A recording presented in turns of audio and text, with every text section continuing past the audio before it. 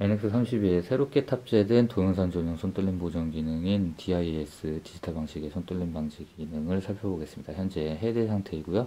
M모드 촬영을 통해서 30분의 1초 설정을 적용한 상태입니다.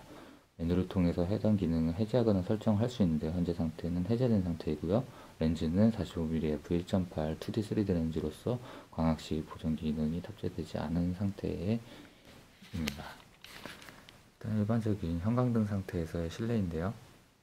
지금 45mm 상태이기 때문에 효과 수준이 아주 크게 드러나진 않지만 현재 해제 상태에서 그냥 일반적인 상태라고 판단을 하실 수가 있겠습니다.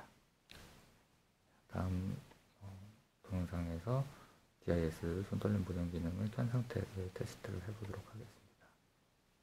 상하 이동이 해제된 상태입니다.